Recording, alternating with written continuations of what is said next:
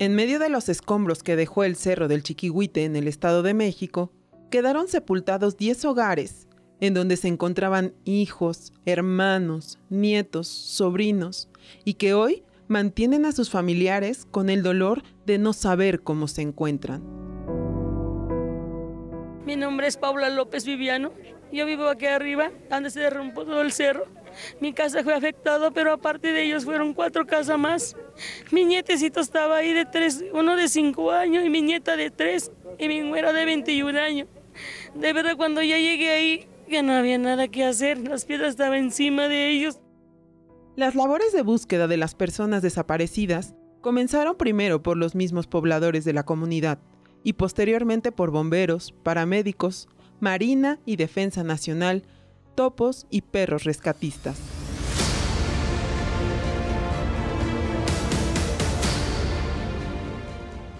Gracias a Dios hay mucho apoyo, mucha ayuda.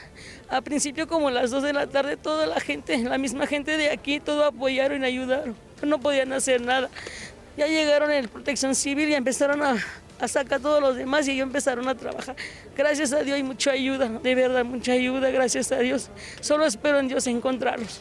Bueno, yo soy Paula Díaz Mofit y soy coordinadora operativa de Topos Adrenalina Estrella. Este, venimos en apoyo al llamado de, que se hizo para apoyar a las personas atrapadas. Pidieron apoyo de Topos y bueno, pues por supuesto este, atendimos al llamado de, la población, ¿no? que era la que estaba pidiendo el apoyo. Venimos saliendo ahorita de allá arriba y este, pues sí estaba un poco difícil la situación.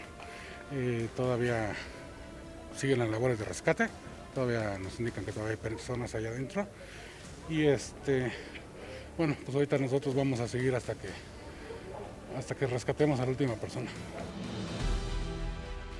En medio de la tragedia, el Grupo Unisocial de la Iglesia Universal se unió con amor y dedicación a esta noble causa, realizando una cadena de apoyo para poder entregar un refrigerio a quienes forman parte de esta ardua labor.